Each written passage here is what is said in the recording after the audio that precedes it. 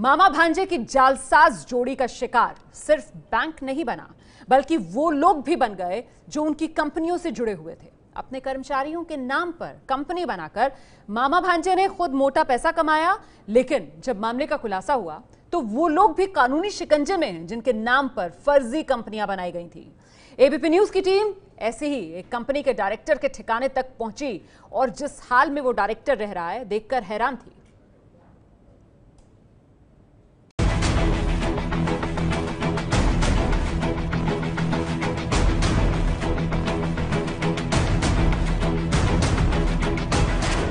झुग्गी में रहते हैं करोड़पति डायरेक्टर। मामा भांजे के धंधे के मोहरों से मिली मुंबई की गलियों में एबीपी न्यूज़ की टीम, नीरव मोदी और मेहुल चौकसी की कंपनियों के डायरेक्टर की तलाश में निकली तो हैरान करने वाले खुलासे हुए। ऐसे ही एक डायरेक्टर का पता सीबीआई की दूसरी एफआईआर से हमें मिला।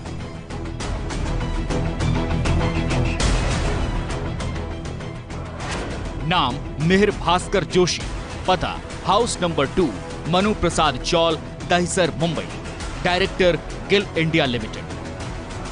मामा भांजे की कंपनी के इस डायरेक्टर की प्रोफ़ाइल तो आपने जान ली। अब आइए आपको मुंबई के इस तंग गली की कहानी बताते एबीपी न्यूज़ संवाददाता वरुण, जब मिहिर जोशी का पता लगाते हुए उनके पते पर पहुँचे तो नज़ारा हैरान करने वाला था। इतनी बड़ी कंपनी के डायरेक्टर का ठिकाना, ये छोटी सी चौल यकीन नहीं हुआ तो हमने आसपास के लोगों से पूछना शुरू किया। मालूम नहीं मैं तो रहने मतलब दो तीन महीना हुआ पहाड़ी से रहने आई हूँ। तो क्या काम क्या करते हैं ये? जो हम्म, जोशी हैं ये? मेहर भास्कर जोशी? मालूम नहीं मेरे को। ये ये इस भाड़े से रहता है ना? वो बहुत- और ही पाड़ा में रहता है भाड़े से। वो यहाँ पर रहते थे कभी? पहले रहता होगा पर हमको मालूम नहीं ना। कई लोगों से बात करने के बाद हमें ये बुज़ुर्ग महिला मिली जो बात करने को तैयार हुई। महिला के मुताबिक मिहिर जोशी यहीं रहता था मगर कुछ वक्त से किराए पर कहीं और रहने लगा था। ये जो मिहिर जोशी थे हाँ। आप इनको जानते हैं? हाँ जानते हैं भाई। ये कि- कितने सालों से यहाँ पर रह रहे थे? वो ज़्यादा साल हो गया पहले पीछे की रूम में रहते थे फिर ये रूम में आए हैं। हाँ। आपको पता है वो एम एस गिल जो इतनी बड़ी कंपनी है उसे उसमें डायरेक्टर के पद पर था? नहीं वो मेरे को नहीं मालूम लेकिन सी एस किया है वो मालूम है। तो यहाँ पर कितना समय हो गया यहाँ पर छोड़े हुए? वो दो साल भी नहीं हुआ होगा छोड़े और वो वो लोग वो भी भाड़े पे दिया है वो लोग भी भाड़े पे ही है खुद का नहीं है उसका। इस तंग गली में हमें मेहर जोशी तो नहीं मिला मगर उसका नया पता ज़रूर मिल गया। सो हमारी टीम यहीं पास के ही आशीर्वाद बिल्डिंग पहुँची। जहाँ उसके रहने की तस्दीक तो हुई लेकिन मिहिर जोशी फिर नहीं मिला। अच्छा आप उनके फादर हैं? मैं उसके अंदर हूँ मैं तो बाहर से। अच्छा। उनके मम्मी पापा? मम्मी पापा भी अभी नहीं है।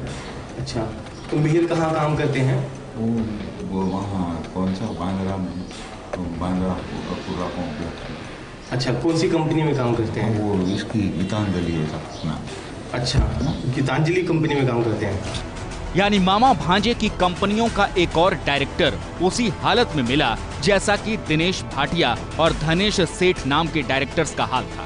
साफ़ है कि नीरव मोदी और मेहुल चौकसी ने अपने फर्जीवाड़े को अंजाम देने के लिए न केवल कंपनियों का जखीरा तैयार किया, बल्कि उनके फर्जी नाम पते पर फर्जी तरीके से डायरेक्टर भी बना रखे थे, जिनके नाम सीबीआई की फहरिस्त में दर्ज हो चुके हैं।